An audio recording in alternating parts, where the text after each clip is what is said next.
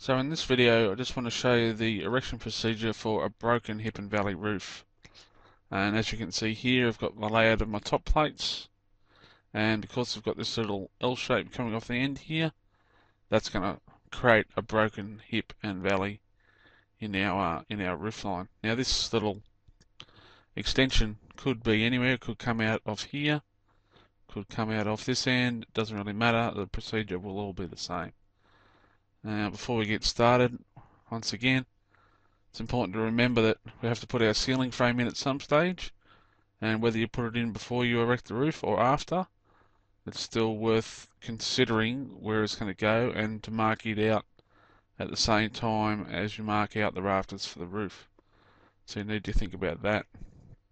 Other thing you may need to want to consider is at some stage we're going to have to put some strutting beams in to strut our purlin on our main roof. So once again, um, whether you put that in now or later, personally I find it easier to put it in after the roof's done, just so that you know where they're going to have to land, but something worth considering.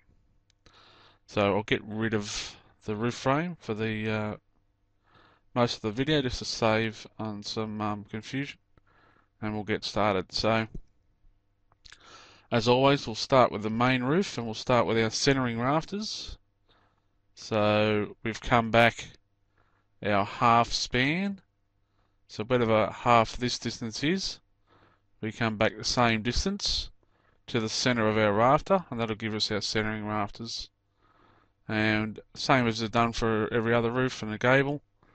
Put the ridge in there, and then as for a hip roof, we'll start putting our hip in. So we put in our crown end rafters, Notice this one only just um, makes it because uh, it actually sits pretty much half on. It's sitting half on there because this is um, half the width of the building. So, so it just fits. We can just get in, it, it in. So crown ends in both end and put our three hips in. So one here, one on this back corner here, which you can't quite see, just there, and one down there. As you can see them there. And again, really up to you. You can put the jack rafters in now, or you could leave them till uh, a little bit later. So that's the start of our main roof. Now we need to get round and work on our actual broken hip end. So once again, with our minor span, what we do Take our half span, come back that distance to the center of the rafter. And what I've also done, I've taken one of these common rafters for our minor span of the roof and I've just put it up here. And that will give me the height of the ridge at this end. So then we can put a ridge in all the way through to there. Now I'll move this rafter now, but it just gives us that height, gives us that set out. So that's the uh, one of the main steps.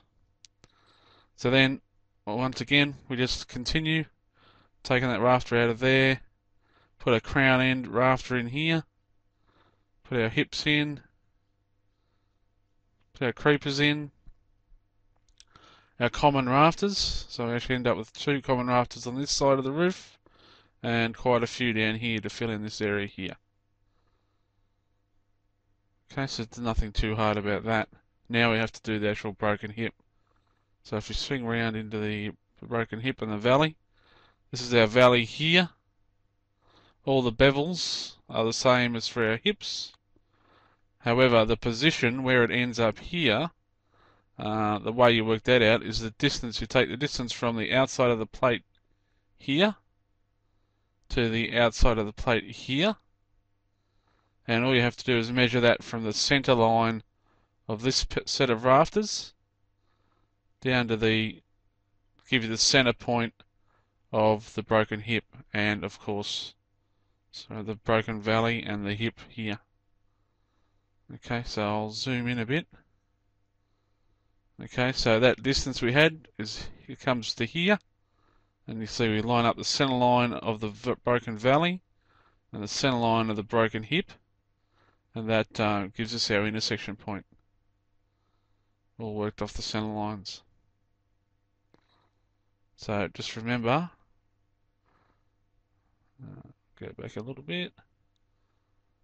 It's the distance from the outside of this plate to the outside of that plate, measured from the center line of these rafters to give you the center line for that intersection. Okay, and that gives you that. Okay, so once we've actually got those into place, we then have to fill in with our valley rafters, valley creepers. You can see here, there's got the plumb cut on the top, and our our valley, sorry, our hip um, face and edge bevel on the bottom end.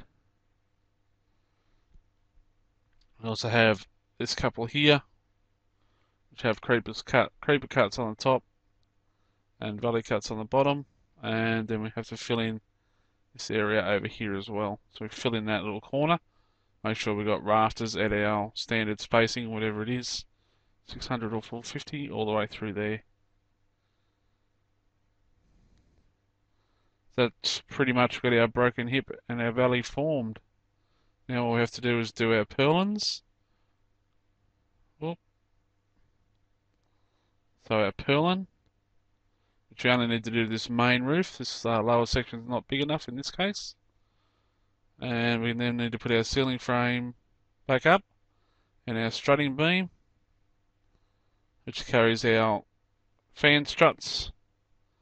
And in this case, we've got a couple of fan struts going down onto the internal walls here and here to carry the purlin at each end.